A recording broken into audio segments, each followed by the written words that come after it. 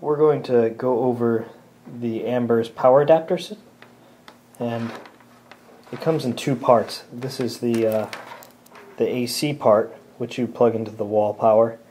and this would get plugged into the power adapter here, which is a converter, and it will convert from the wall power and the AC voltage to a DC voltage, um, 19 volts for the Amber. So I just plugged in the power adapter to the wall and now I'm going to plug it in here um, right on the Amber's power adapter. Um, before I do you can see that right here it says 88% and you can see the battery is almost at full power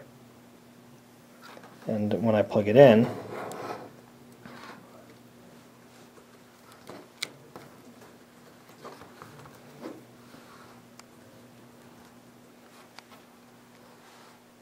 you'll see that there's a lightning bolt now where it says 88% and the battery signal is.